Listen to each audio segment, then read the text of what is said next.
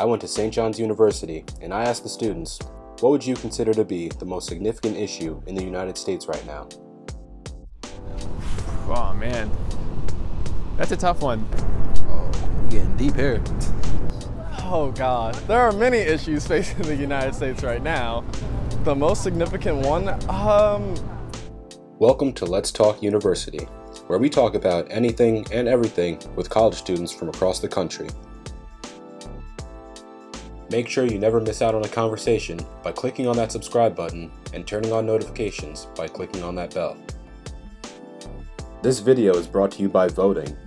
The midterm elections are coming up, so it's a great time to get your voice heard. The United States has its flaws, and before we can try to fix them, we have to talk about them. Let's see what issues the students at St. John's want to address. Um, I feel like the most significant issue is probably people don't understand other people's realities. You know, it's kind of like Kanye, you know, Lil Wayne said he doesn't really experience racism. It's kind of like, that's true to him, but that's not a reality for everybody else. So I feel like we as people kind of have to understand, it's good, bro.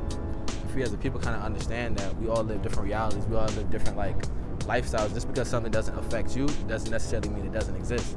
Like for me as a person, I can tell, I can say right now that you know, sexism in the workplace doesn't exist because I'm a man, it doesn't affect me.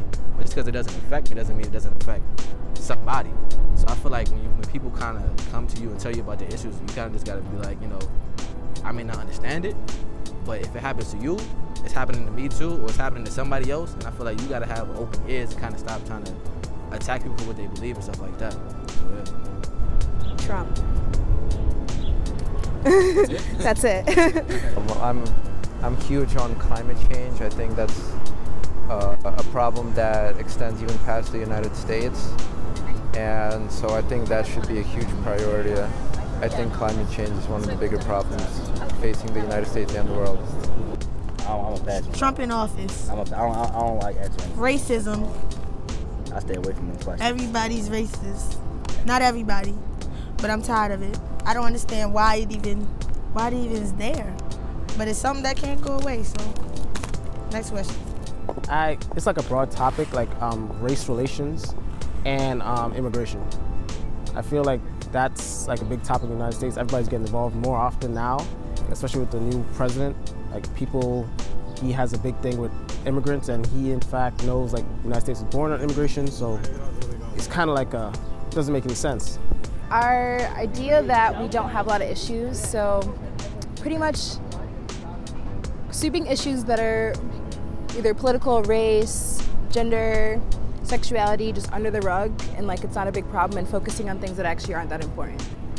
I think the um, current president, Donald Trump, is the biggest issue. I think like we're really divided as a country and like he's just not doing a good job of like unifying the country and he's like the way he deals with immigrants and like other people like with like African Americans and just like with like Spanish. He just doesn't deal with that right, and I don't think he's like fit for president or is doing anything for the country. It's like everything that's going on with government, like Trump, um, like how he just bombed Syria the other day, and like just the actions that he takes, like is not presidential. Like somebody that has been, like there's other people who study politics for a reason to become something, but he's just a businessman and he only thinks he thinks business wise, not presidentially, and like he doesn't like give people the freedom that they deserve.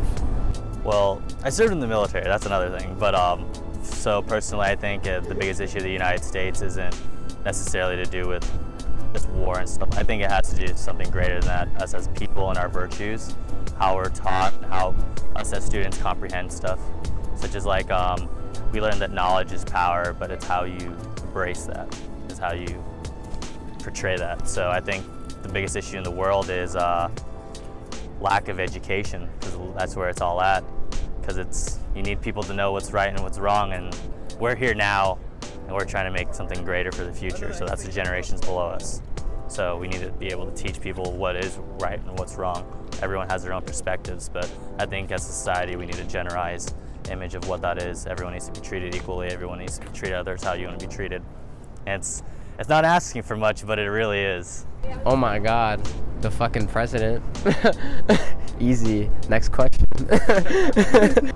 The United States right now is lacking in terms of good leadership.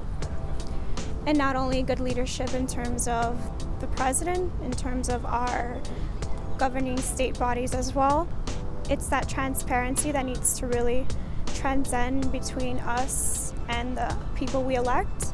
They must understand that their needs, there's rising needs of, of us, and that's why we choose these elected officials to be in office, and they should really take into account our needs. I just don't feel like Trump is qualified to be in the White House. I mean, I know like uh, I don't want to be like a repeated record or something, but like he's kind of he's just a little bit crazy, you know. Uh, but maybe I don't know. I'm, i really care about the environment, so if if not the president, then uh, the environment. Yeah. I think the biggest issue is um, I think being honest with ourselves as a as a country, and you know, I guess we have a problem sweeping things under the rug that we don't want to see. So I think we need to deal with that first. So those are the United States issues with students from St. John's University. What are your thoughts on the issues that these students spoke about? Are there any other issues that you think should have been mentioned? Let's talk about it in the comment section below. Thanks for watching this video. Let us know what other topics you'd like to hear about on this channel. Follow us on social media and check out our other videos for more interesting conversations. Thanks, and we'll talk again soon.